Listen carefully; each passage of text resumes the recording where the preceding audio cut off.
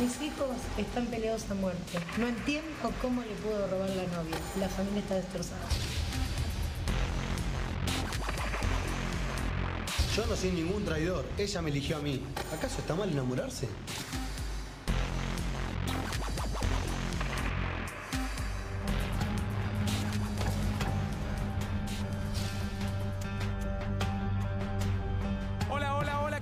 Va? Bienvenidos a todos al show de Problema. ¿Cómo anda la people? ¿Estamos todos bien? Bueno, a ver, hoy día martes 26. Ya estamos en vivo con una situación que para mí es grave, no grave, gravísima.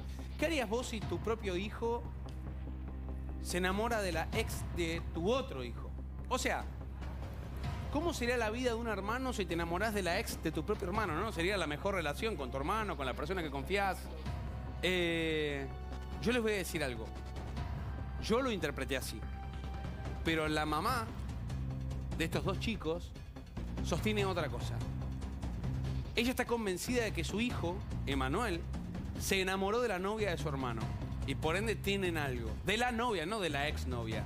Yo digo, para mí es aún peor la situación. Yo imaginé, digo, bueno, habían terminado. No, ¿qué habían terminado? Y hay un dato que es peor. ¿Cuál es? La- ¿Peor? La, trajo a vivir a casa, o sea, está viviendo, o sea, No, en la misma casa vive el padre, la madre de los dos hermanos, la ex, la actual, No, la ex, un no. quilombo tremendo. Hola Graciela, bienvenida, ¿cómo te va? Hola. Bueno, a ver, ¿qué pasa, corazón? Qué quilombito, ¿eh? ¿Qué pasa con tu hijo? ¿Piró? ¿Flipó? No sé qué le pasó. No sabes qué Lo le pasa. único que te voy a decir es que nos amargó ¿Ok? la vida.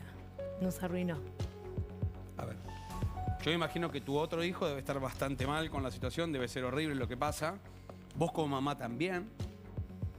¿Qué pensás que le está pasando a él para decir, che, justo la de mi hermano, traerla a vivir a casa, Y viste que él este, de chiquito fue el más mimado, el más protegido. consentido?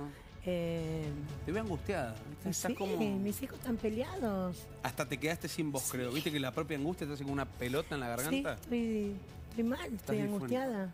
Estoy angustiada. ¿Y qué te pensás que él no lo entiende? ¿O pensás que él, digo, que por está- ese amor lo obnubila Él dice tanto? que está enamorado. Ok.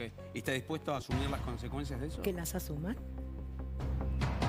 O sea, ustedes ya tienen postura, me imagino, con tu marido, Yo decir, asumís tengo una esto postura. y listo. Y Bueno, ok, dejamos hablar con tu hijo, a ver qué, qué es lo que le pasa. Pero también hay que escuchar, o decir, che, estás loco, justo la de tu hermano, te venís a meter, hay tantas mujeres, todo. ¿Cómo andás?